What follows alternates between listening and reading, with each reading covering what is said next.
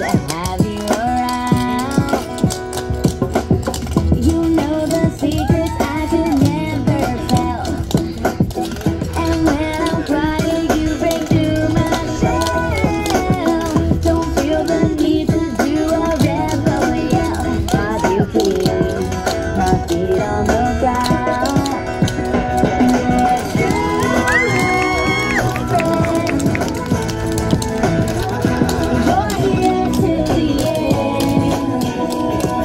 You told me a sad when something ain't right.